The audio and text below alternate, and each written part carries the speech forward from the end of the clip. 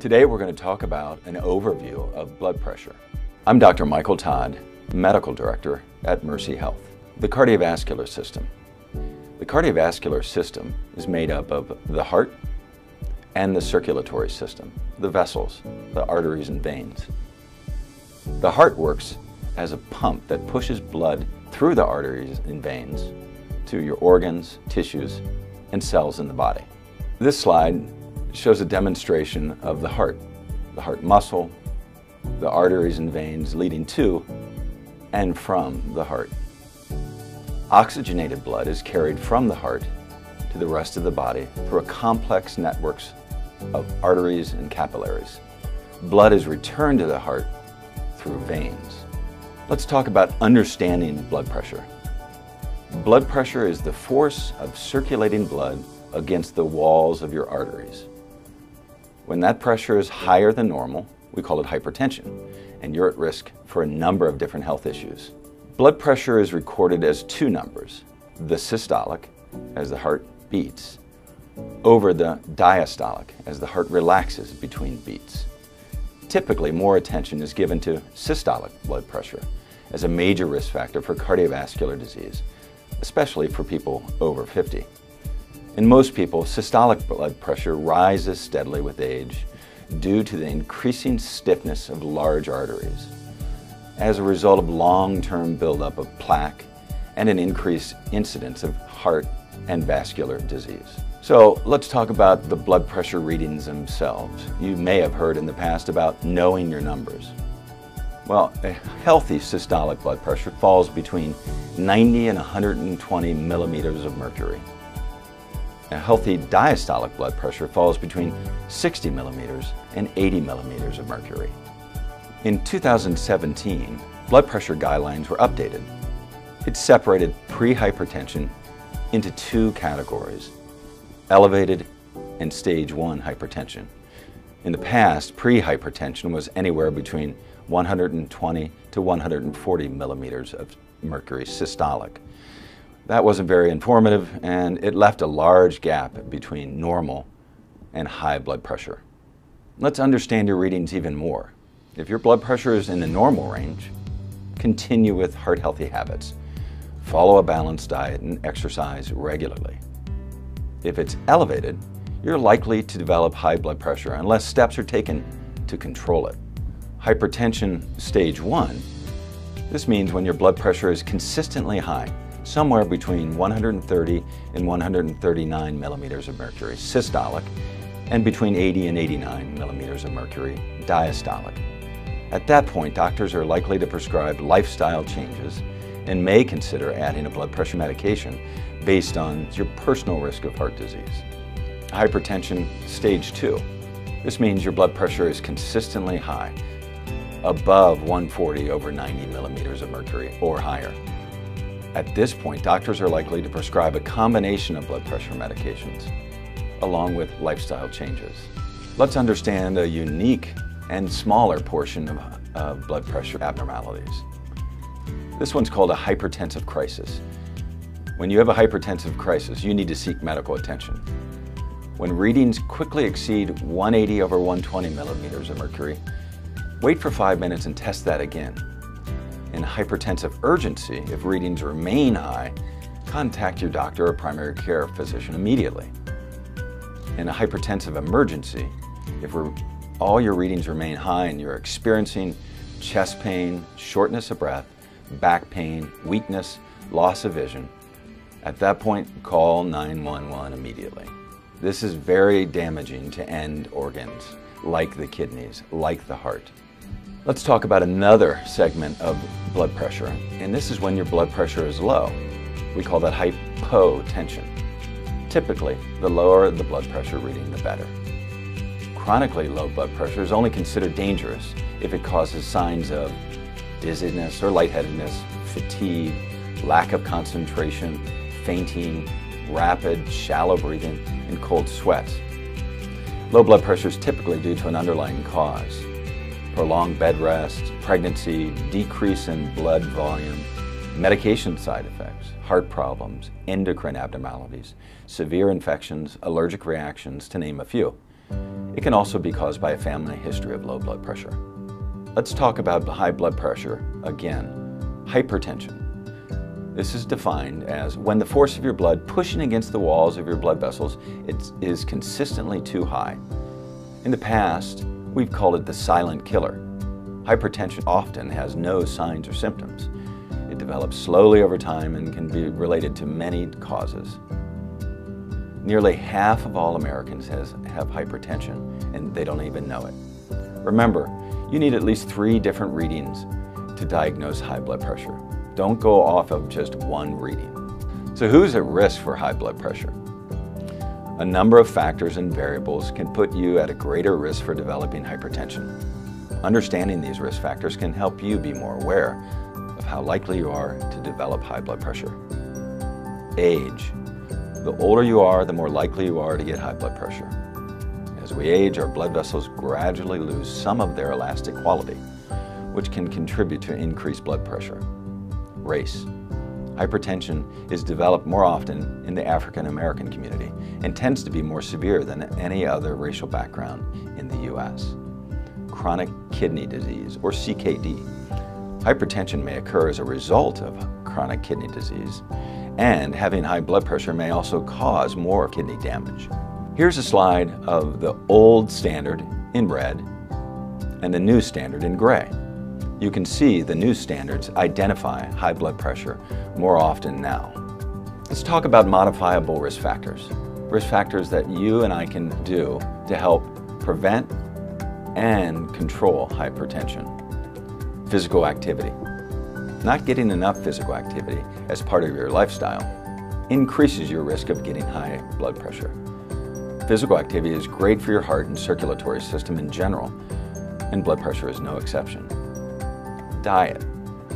Proper nutrition from a variety of sources is critical for your health. A diet that is too high in salt consumption as well as calories, saturated in trans fat and sugar, carries an additional risk of high blood pressure. On the other hand, making healthy food choices can actually help lower your blood pressure.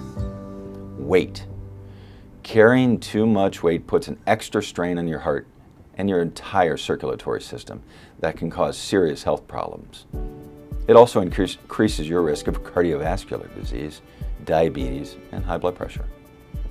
Cholesterol. More than half the people with high blood pressure also have high cholesterol. It's important to get that checked at the discretion of your primary care doctor. Smoking. Using tobacco of any form can cause your blood pressure to temporarily increase and can contribute to damaged arteries.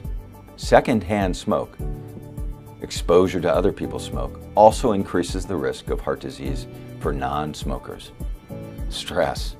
Too much stress may contribute to increased blood pressure. Also, too much stress can encourage behaviors that increase blood pressure, such as poor diet, physical inactivity, and using tobacco or drinking alcohol more than usual. So let's talk about some of the effects of hypertension. Over time, the force and friction of high blood pressure damages the delicate tissues inside the arteries. In turn, cholesterol forms plaques along tiny tears in the artery walls. The more plaque and damage increases the smaller, narrower arteries, raising your blood pressure because of the lack of elasticity in the blood pressure walls. The consequences of uncontrolled hypertension. Cardiovascular disease claims more lives each year than any form of cancer and chronic lower respiratory disease combined. The risk of death from ischemic heart disease and stroke doubles with every 20 millimeters of mercury systolic or 10 millimeters of mercury diastolic increase among people from age 40 to 89. High blood pressure puts your health and quality of life in serious danger. Sexual dysfunction, this can be erectile dysfunction in men or lower libido in women. Vision loss, High blood pressure can strain or damage blood vessels in the eyes. Lack of blood flow to the retina leads to blurred vision or complete loss of sight. Angina. Chest pain is a common symptom of heart disease over time. PAD, or peripheral artery disease, even atherosclerosis. High blood pressure can cause a narrowing of arteries in the legs, arms, stomach, and head, causing pain or fatigue. Heart attack. Simply, it's a blockage of blood flow to the heart muscle itself. Damage from uncontrolled hypertension can cause narrowing of arteries. Over time, an accumulation of plaque or a blood clot interrupts blood flow through the heart, resulting in a loss of oxygen and nutrients to the heart muscle. About every 40 seconds, someone in the U.S. has a heart attack, stroke, depletion of oxygen to brain cells. Weakened arteries caused by uncontrolled hypertension puts you at high risk for stroke. Narrowing arteries are prone to both clots and bursts, which cuts off blood supply to the brain and results in a stroke. Strokes are the number five cause of death and a leading cause of disability in, in the U.S. Heart failure. This is the heart's inability to pump enough blood. The increased workload from high blood pressure can cause the heart to enlarge and fail to supply adequate blood to the body. The heart thickens and becomes less efficient, ultimately failing to do its job. One in five Americans will develop heart failure. Kidney damage. Damaged arteries around the kidneys interfere with their ability to filter blood. Kidneys cannot receive oxygen and nutrients from damaged arteries. They're unable to effectively filter blood and regulate essential hormones, including aldosterone, which helps regulate blood pressure. Hypertension is the second leading cause of kidney failure. So let's talk about management of hypertension. Know your numbers. This is a self-monitoring of your blood pressure. Work with your doctor. Work with your primary care physician. Do some lifestyle changes. Modify the changes you can have impact. And medication. Self-management. It's crucial to consistently keep up with blood pressure readings if you have hypertension, but also still important for those with normal blood pressure. The silent killer can strike when you don't know it, without warning signs. Lifestyle changes heart-healthy eating. Limit sodium, sugars, red meat, and saturated trans fats. Increase fruits, vegetables, whole grains, and nuts. Exercise regularly. Maintain a healthy weight and BMI. Limit tobacco and alcohol. And of course, manage your stress. Medications. There are many different types of medications that work in different ways. You may require more than one type to control your blood pressure. Let's review some of the different medications for high blood pressure. Diuretics. These help your kidneys get rid of excess sodium and water, reducing blood volume. Beta blockers. These cause your heart to beat more slowly and less forcefully, so there's less pressure on the heart and the arteries. ACE inhibitors. These help blood vessels relax. And calcium channel blockers. These help relax the muscles of the blood vessels. It's important to note, do not stop taking medication without consulting your personal doctor, even if blood pressure readings are in the normal range during self-monitoring. The good news is you can live long and healthy with the proper treatment and management of hypertension. While heart disease is still the number one killer in the U.S. and around the world, death rates have decreased significantly, thanks in part to preventative and more advanced treatment of high blood pressure. Even if you don't have high blood pressure currently, you can prevent it by monitoring your numbers today. The American Heart Association has a program called Check, Change, and Control.